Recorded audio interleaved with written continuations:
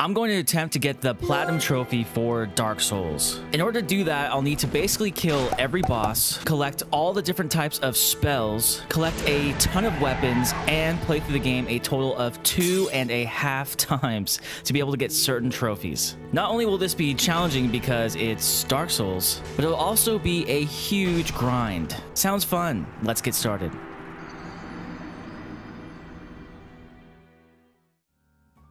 Like any Dark Souls game, we first have to create our character. For this playthrough, my build was going to be strength-based because I just wanted to have a giant weapon eventually. My build won't actually matter too much though, as it will be all over the place because I'll have to invest in faith and intelligence in order to join some of these covenants later on for separate trophies. I create my character Oppihaimi and we start the game. Like all great RPGs, we start off in a prison and we fight our way through some very basic enemies until we come across our first bonfire. Once we light the bonfire, our first trophy was down and there was no turning back now.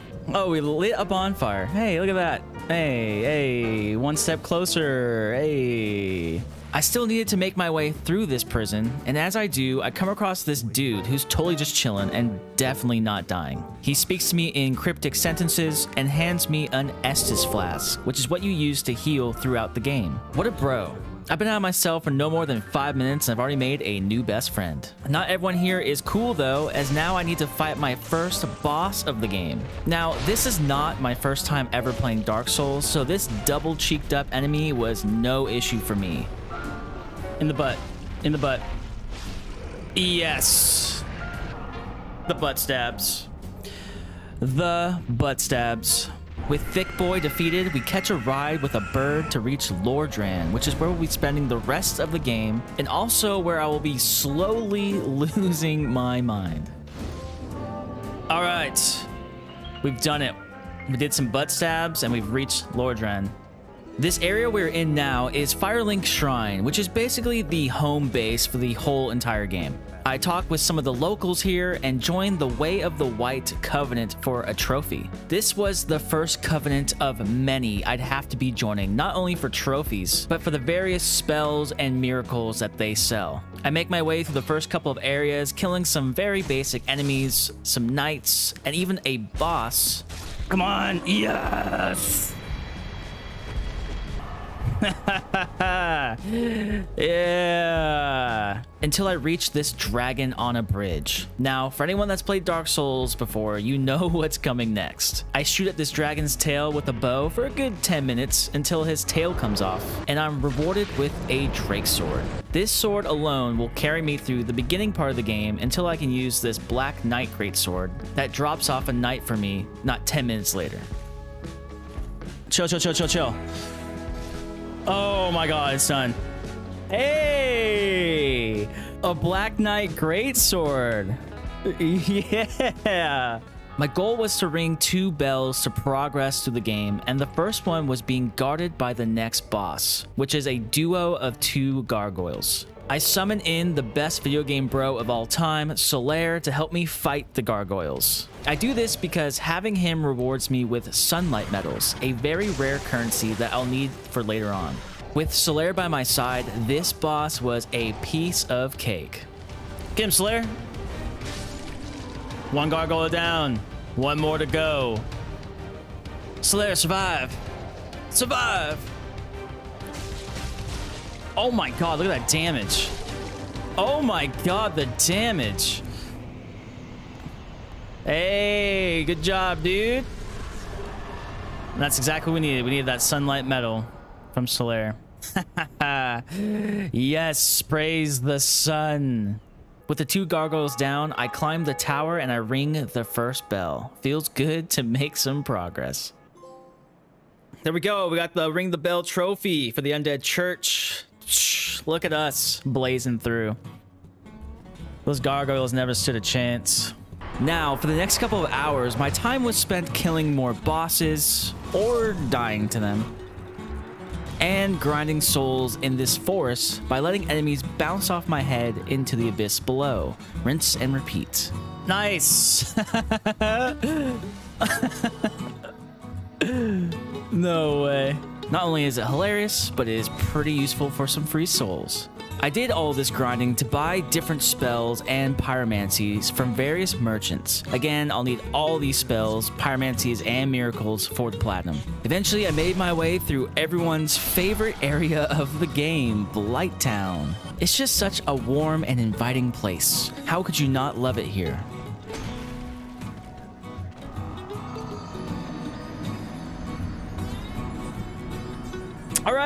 No, no, that's cool. No, that's cool. I didn't want to. I didn't want. I didn't want to live anyways. No, that's fine. At the end of this nightmare is Quelaag. She was guarding the second bell I needed to ring. Does she know who she's messing with? I mean, come on. I made it through Blighttown. Nothing was gonna stop me. What? Oh my god. no, dude. Okay, so she stopped me. But next time, she wasn't so lucky. Is this it? There we go. GG. Goodbye, spider. You're dead. With Quelaag down, the bell was rung, and we were rewarded with another trophy. I then joined another covenant while down in the spider caves, and fight the Ceaseless Discharge boss to unlock an area for later on. Now, there's a way to cheese this boss, but I didn't know it at this time, so I fought him the hard way. Don't be like me. no way. Yes. Yes. Victory. Ah, uh, yeah. Now I had to make it through Sen's Fortress, an area full of snakes with swords, snakes with lightning, swinging blades, balls of death, and did I mention snakes? Seriously, I hate this area so much, man. Once I made it past this hellhole, my reward at the end was a giant boss fight. Literally, the, the, the boss is a giant. Now, don't let his size scare you though. His attacks are easily telegraphed and he's super slow. Kill him! Kill him! Do it! Yeah! Yeah. Thanks for throwing the fireballs. You jerk. Let's get the hell out of here, guys. Once the giant is down, I'm picked up by some random demon goblin things, and I'm flown to the most iconic city of all of Dark Souls, Anor Londo.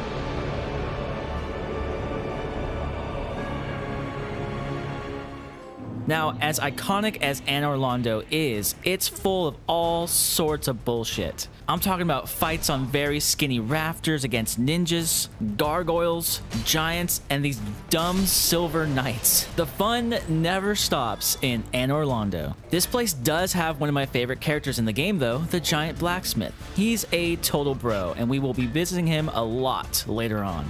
Now, I know I just mentioned all the BS Anor Londo can be, but none of these things compared to the final boss of this area, Ornstein and Smough. This fight is one of the most iconic fights in all of Dark Souls, and personally, one of my favorites. With all that being said, these guys are still huge jerks.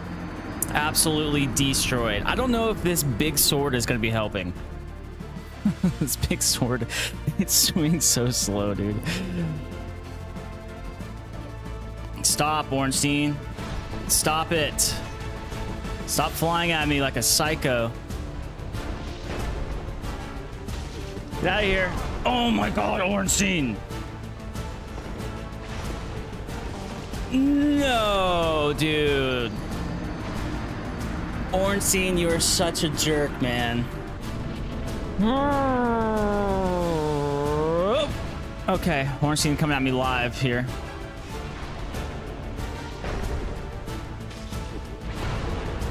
Oh, almost got him. Nice. Smough down. Smough is down. Nice. Nice. Good damage. Oh, no way. Oh my god, I'm 1 HP in a dream. I cannot believe he just hit me right there. Oh. Come on. Yes. Yes. 1 HP in a dream. Oh, man. Dude, look at my health right now. I seriously have 1 HP. Oh my god, yes. Yes. With the dynamic duo down, we meet Princess Mommy Milker's Gwynevere, and she grants us the Lord Vessel, which means we get a trophy, but more importantly, we can fast travel now. I also enter her covenant for another trophy. Now I make my way into the painted world, and the goal here was just to kill the boss at the end. But while I'm here, I spent about an hour killing these crow things over and over again to get a certain drop to join a later covenant. Once my grind was complete, we fight Priscilla, which after coming off the insanity that was Ornstein and Smough, is a total walk in the park. I cut off her tail for a weapon, and I finished her off first try. I made my way back to the forest area where I had grinded souls previously, and this time I joined another covenant for a different trophy by talking to a talking cat. This game is kind of weird. Now, I gotta say, I hate this next boss. Not because it's hard, but because it's a freaking dog. Miyazaki, what the hell is wrong with you? Why are you making me kill a dog, man? Sit, please. I don't want to have to kill a dog. Why does this game make me kill dogs? Why do I always gotta kill dogs in all these games? Every game I play, I gotta kill a freaking dog. I love dogs. Oh, he's limping. Oh my god. I forgot he does that. Oh, he's barely... Oh my gosh. That's sad. This game sucks. I hate this game. It's a dumb, stupid game. Sif drops a ring that allows me to enter an area named the Abyss. Here we fight one of the more challenging bosses in the game, the Four Kings. The fight starts off with one enemy to fight, but as time goes on, more spawn in if you aren't quick enough to kill them. For my first playthrough, my strategy was just to equip Havel's armor set and just try to like face tank my way through. It's not the most graceful way to fight them, but it is pretty effective. Yes. Uh, Havel's armor set. Thank you for existing. Defeated the four kings. With the four kings down, we meet Kaathe and join his covenant for a trophy. Kaathe explains to me that I need the souls of three particular bosses to unlock the door to the final boss. So I set out to fight those three bosses. The first of the three bosses I was going for was Nito, and to make my way to them, first I had to go through the catacombs. I sliced my way through a million skeletons, making sure to use a divine weapon here, or else the skeletons would respawn, and that would be not cool. In the catacombs, there is a grave that you can lay in, and after about maybe 15 seconds of laying there, it actually transports me to where Nito is resting. Here, I can join their covenant for a trophy. I'll be back here in a little bit to fight this jerk, but for now, I continue in the catacombs. At the end of the catacombs, I try and dodge these spinning skeleton wheels. I hate these things. I hate these things so much. And make my way into this area's boss room. It's funny how the catacombs are one of the worst parts of the game, but the boss at the end is an absolute joke. I wildly swing my sword around and I kill the boss in literally less than a minute of the fight starting. Imagine if all the bosses were this easy. Easy. it's so easy, dude. Now it was time for the real worst area of the game. The Tomb of Giants. Everything in here is pitch black unless you have a lantern or a spell that can light the way. Here I run into Patches, who is, for lack of a better word, kind of a dick. And he kicks me down into a hole. Damn you, Patches. It works out for me though because here we find a woman that needs me to help kill her bodyguards who have gone crazy down in the darkness. After slaying these two poor souls, she rewards me with another miracle and we are one step closer to the trophy for having all the miracles. While I'm down here fighting all sorts of enemies, one of the knights drops one of the rarest and best weapons in the game, the Black Knight Halberd. This weapon will literally carry me through the whole rest of the Platinum, and I've never gotten the chance to use it before, so from here on out, it was my main weapon of choice. Oh my god. Black Knight Halberd, dude. No way did I just get that off of this guy. On my way to the boss, a phantom invades me, and I need to kill him so that I can get his weapon for a trophy. This should be simple enough. There was no way I could mess this up.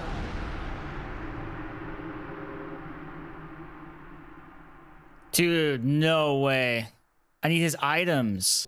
Well, that sucks, but it's fine. I have to play through the game again anyways, so we'll get to him next time, hopefully. Now it was time to fight Nito. This fight gave me so much trouble initially. The problem is he's just surrounded by a ton of skeletons. I died quite a few times here. The pain was very real. Eventually I figured out if I just stayed in the beginning area where the fight begins, Nito wouldn't summon that many skeletons. So I would take out his initial three skeletons that spawned and just focus on him and it made the fight much more bearable. Nice. Alright, me and you. Mono y mono. Yeah, no thanks. Get a little slice in there, huh? Uh. Uh. Yeah. Not today, Nito. Get out of here. You're dead. Thank God. Nito is finally done. With Nito down, I made my way back to Anor Londo and joined a covenant by using those items that we farmed earlier from those crow enemies in the painted world. This gives me access to another spell that I'll need for a trophy. Now it was time to fight Gwyndolin. This boss is honestly super simple. All you have to do is just run at them and hide behind pillars while they shoot things at you, and then you get a couple of attacks in while they run away. Rinse and repeat until they're dead. It's a pretty easy boss fight. After Gwyndolin was another boss fight, Seath the Scaleless a giant dragon that can curse you with his crystal attacks. I needed to not only kill Seath, but I had to also cut off his tail for a weapon. Seath can be a tricky fight, but honestly, the hardest part of the fight was just running around trying to hit his tail. He would just keep moving around in circles, and just make it really hard on me. There we go. There it is. Always slamming. Always pissed. Are you done? You still slamming? Oh my god. Dude, chill out. Just let me kill you. Jesus. Yes. There we go. Finally. the tail was harder than the boss. All right, he's defeated. Another trophy down. With Seath down, a mini-boss spawns in this area, and after the mini-boss is defeated, he drops the last sorcery I need to get the trophy to have all of the sorceries. All right. Wisdom of a Sage. Acquired all the sorceries. Whew. One collectible down. I needed to make a quick detour deep into Ash Lake to join another covenant. I run past a giant hydra and I come across this dragon who's just chilling here. Upon talking with him, I join his covenant for a trophy. I then cut off his tail for a weapon. Maybe I'm the bad guy. He doesn't even care. We just cut off his tail, doesn't even care. Yo, dude. Your tail's cut off. Thanks for the weapon. Now it was time for everyone's favorite boss of the game, the Bed of Chaos. I don't have much to say about this fight except it just kind of sucks. You have to kill three quote unquote hearts, and I was able to get the ones on the sides no problem. The issue was getting to the last middle one. Every time I tried to get to this jerk, it would just swipe me off the ledge or I'd fall to my death. Such a pain. I missed the jump again, dude. Oh my god. I oh my god, I'm such an idiot.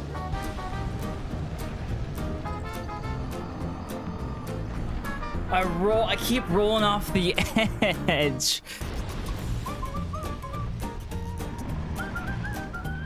Go, go, go, go, go, go, go, go, go. No.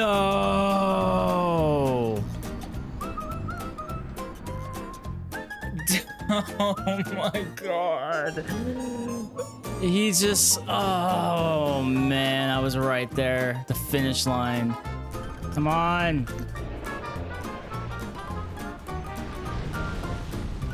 Come on. Go, go, go, go, go, go, go. Go! Roll for your freaking life. Kill it. Thank God. You suck.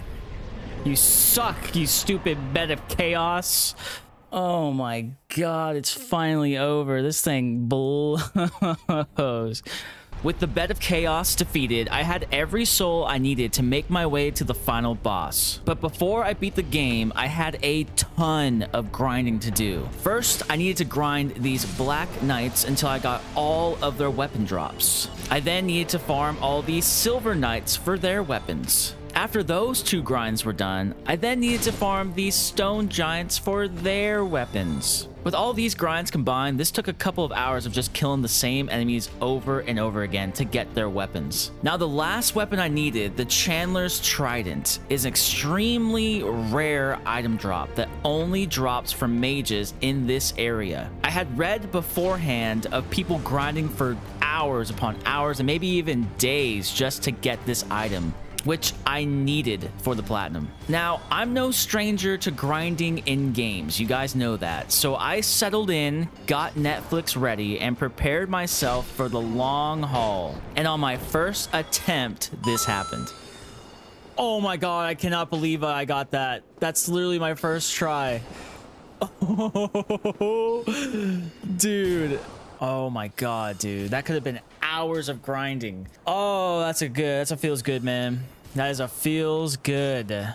The grind doesn't stop there, though. I now need to upgrade certain types of weapons to their max so that I can use the boss souls I've acquired to make boss weapons. This is why the plat takes almost three playthroughs, as sometimes you'll need multiple of the same boss's souls to make different weapons, meaning I'd have to kill them again in another playthrough. To make a long story short, upgrading these weapons was a huge grind, but along the way I got multiple trophies for maxing out certain elemental weapon types, which involves farming farming or buying rare materials. With that done, the last grind I needed to complete was killing these bugs here over and over again until I got 10 total sunlight medals. Now I already got some of these before for fighting with Solaire in the gargoyle fight, but even with those I already acquired, I still needed a total of 7 more. So this grind probably took me another hour or so of just mindlessly killing these bugs. Please, give me a sunlight medal. Give me a sunlight medal. I hate you.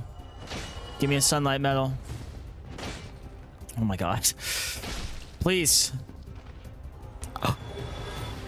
Yes! Yes! Oh, thank god my grind is over with. Holy crap. oh my god. Okay, now it was time to beat this game for the first time. All I needed to do was beat Gwyn and light the bonfire for one of the endings. Should be pretty simple, right? Apparently not for me. No! oh my god. Nice. There it is. Uh-huh. Stay down. Here we are. Oh, God. It feels so good. Let's get one more stab on him. Yes. All right. It's time to beat the game for the first time for this platinum run. Let's light the bonfire. Link the fire. Okay, to link the fire. First playthrough, done. Dark Souls Remastered. Oh, I love this game so much.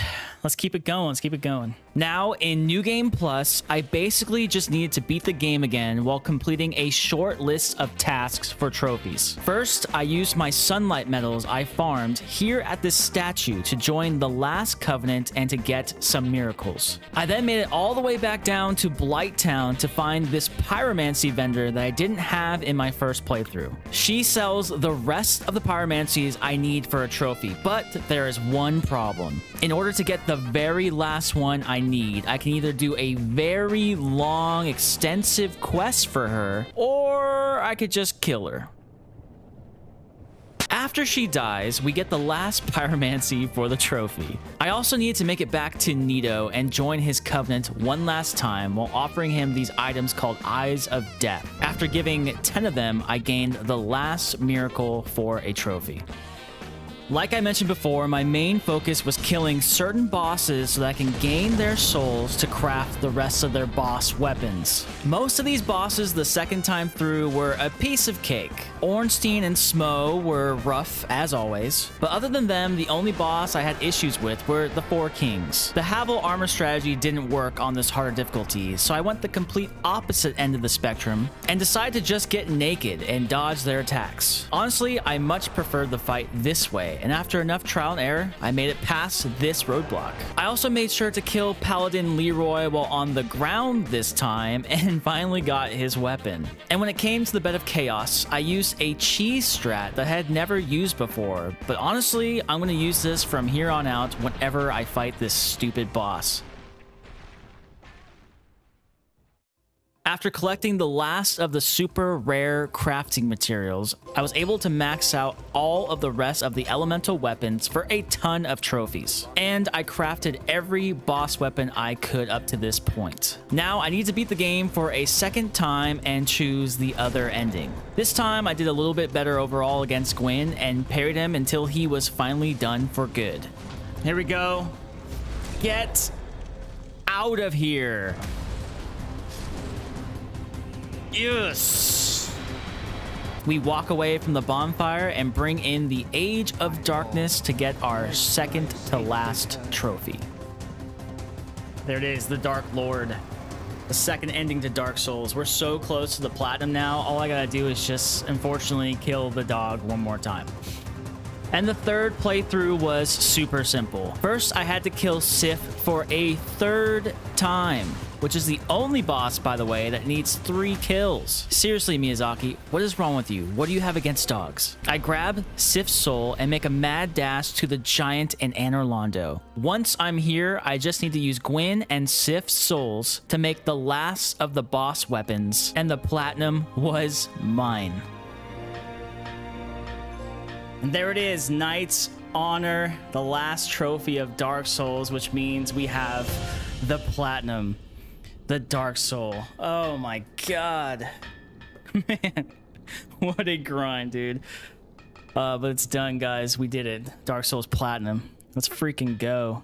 And so my journey was complete and Dark Souls Platinum was in the bag. I love the Souls games so much and I had a lot of fun with this despite the grind. If you enjoyed the video, hit the like button and consider subscribing for more content. Thank you so much for watching.